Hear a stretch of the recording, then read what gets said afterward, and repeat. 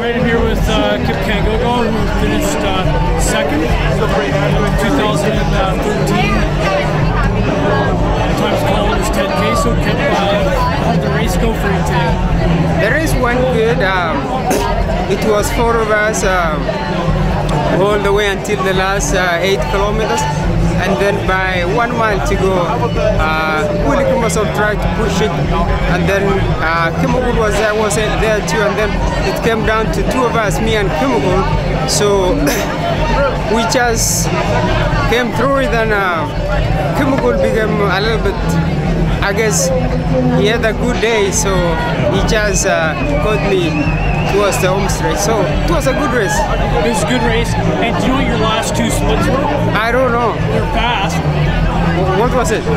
You know what? I, I didn't keep track either, but I'm thinking they're about uh, below 250 for uh, 8 to 9. That's probably right because we were clipping, clipping it pretty good, so it was a good race. Do you know what your finish time was? I don't know. It was below 30, was it not? Okay. I think so. Yeah. You guys were on pace for just over 30, and then you guys took right off. Yeah, we turned by the two, two, two kilometers to go. It became a two-man race, and then uh, Kimogul had a good day. So regardless, I can take second. You got second? Yeah.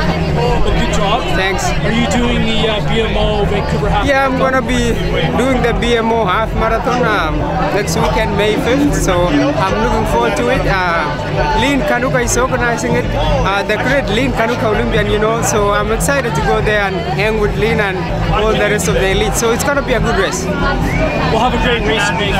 Thank you.